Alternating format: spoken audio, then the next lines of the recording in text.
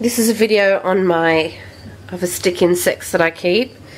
This one here, I'm not sure what it is, so I'm posting some pictures tonight and hoping someone can answer for me what it is. It's the same with this guy here.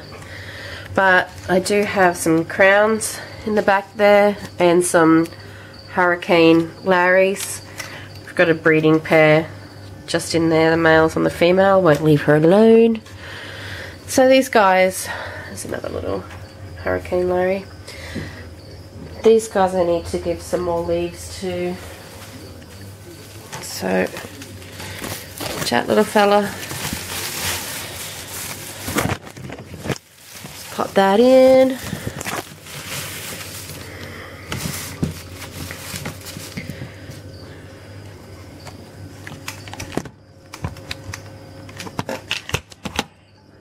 I'm just going to give them some. Give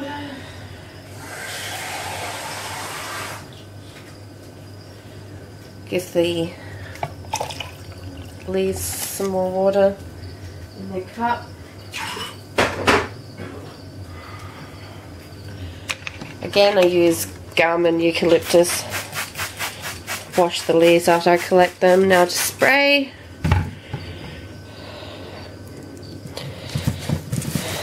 And close it up. And they're all done again.